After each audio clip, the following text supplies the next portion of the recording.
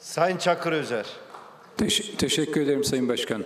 Buraya Ulus'tan geliyorum. Gazeteci meslek örgütlerimizin bugün genel kurul gündemine gelen sansür yasasının geri çekilmesi çağrısını sizlere iletmeye geldim.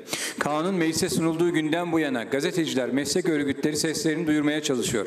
Biz milletvekilleri, gazetecileri, milyonlarca yurttaşı baskı, sansür altına alacak, hapsedecek düzenlemeleri geri çekin dedik. Dinlemediniz, dinlemiyorsunuz.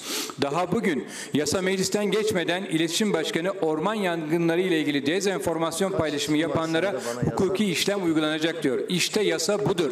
Bu yasa gözdağı, sindirme, korkutma yasasıdır. Bu yasa ekonomideki krizi, zamları, hayat pahalılığını kimse duymasın, duyuramasın yasasıdır. Buradan bir kez daha çağrıda bulunuyorum. Bu vahim tablo karşısında artık sadece gazetecileri değil milyonlarca vatandaşın sosyal medya kullanımını engelleyecek, hapsedecek yatırımları içeren bu yasa derhal geri çekilmelidir. Susturma, korkutma, hapsetme yasasına hayır. Basın hürdür,